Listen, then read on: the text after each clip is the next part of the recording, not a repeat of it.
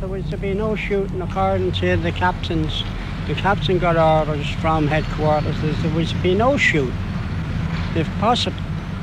But uh, this uh, soldier in the lorry, when they sold the, the main body of the, uh, the, the military, were at the tailboard down and they were all standing at the back of the car.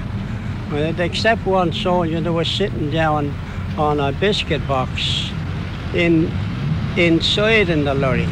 And these fellas at the back were covering him up.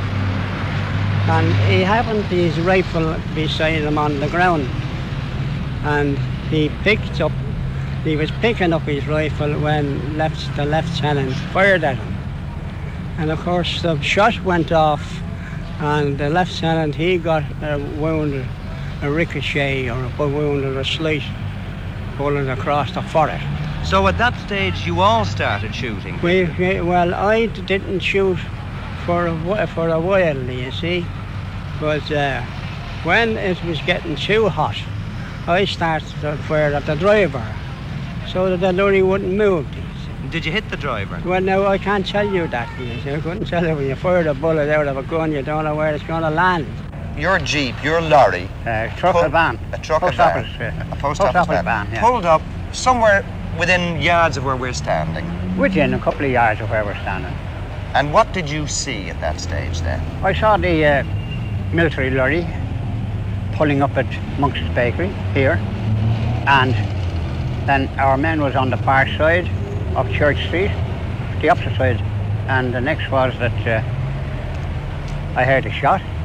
Next was I saw Kevin under the lorry where his revolver jammed, and the next was that the troops who was going in to collect the bread run back out of the bakery yard.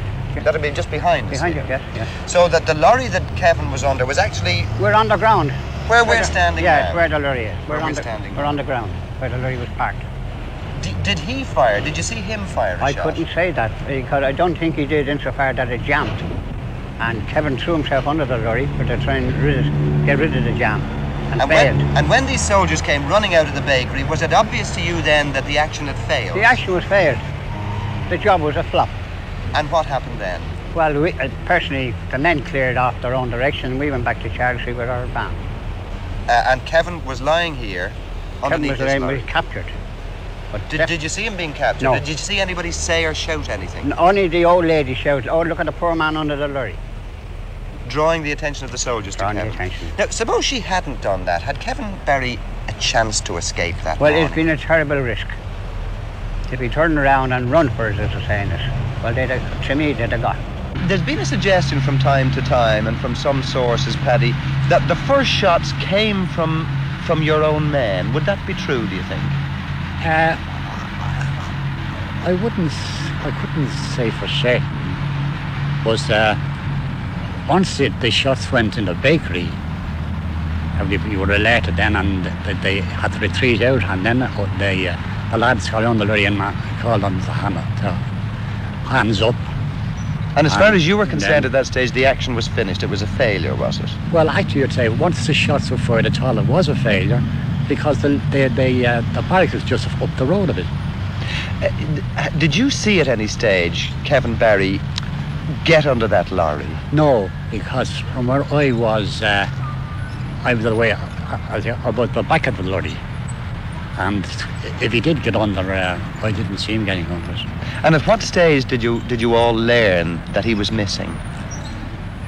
Well, I, personally, I don't think any of them is new because we had retreated got away. It appears that some woman shouted that there was a man under the lorry.